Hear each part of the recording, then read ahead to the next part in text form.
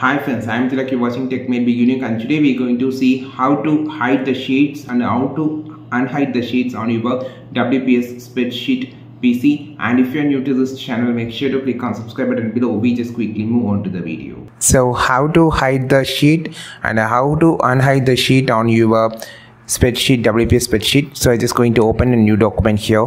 So I'm just going to have a file sheet so i just type something here like this okay? And we just going to hide this sheet number two.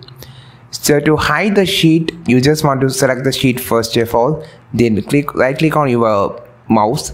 You will see uh, this pop up and here you will see option called hide. So just click this.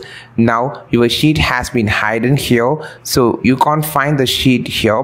So if you want to you can see you can see the option called unhide. So just click this. So to unhide the sheet you can see the sheet 2 has been not here. So to unhide the sheet just right click here and you will see option called unhide the sheet. So just click it and you can see the unhided sheet here.